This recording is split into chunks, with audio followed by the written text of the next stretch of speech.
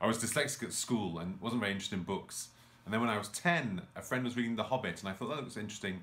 And so I read The Hobbit and The Lord of the Rings and just loved them. And I remember closing the book and just having a sense of loss because I was so inspired that you could create an imaginary world that felt so real with its own languages and histories. And I thought, I want to do that. I want to make up worlds. This is the school I attended from 8 to 18, St. Peter's School in York, the oldest school in England, with a famous old boy, the revolutionary Catholic Guy Fawkes. York is the second city of England, it's the capital of the north.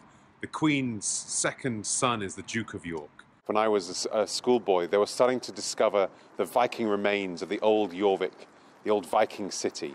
This really sparked a love of kind of the Viking period, the Viking language. And with Tolkien as well, because Tolkien was clearly very influenced by Anglo Saxon myths and sagas. Growing up in New York, it was really inspired by the, the northern Germanic Viking history here.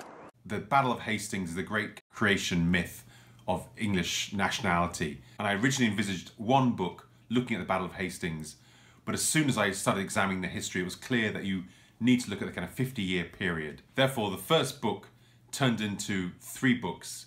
The first one, Shield Wall, tells the story of the Danish conquest of England in 1016.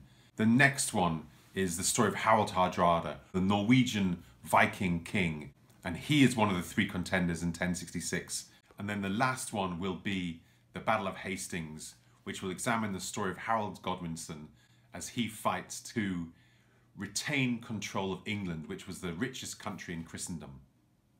One of the reasons I wanted to write about Harold Hardrada is that he's a footnote of history, someone who almost made history. He has the most extraordinary life for a medieval king. He flees Norway as a 15 year old boy, fleeing from battle. He's involved in the reconquest of Sicily from the emirs of North Africa. He blinds the emperor of Constantinople which is the inheritor of the Roman Empire. And then, this is all before he's 30 years old, and then makes his way back to Norway where he's king. And in 1066, he decides to make himself king of England as well. All the characters I've chosen Godwin, Harold Hardrada I think their stories have been untold, and I want to lift them from the footnotes of history back into the centre of their times.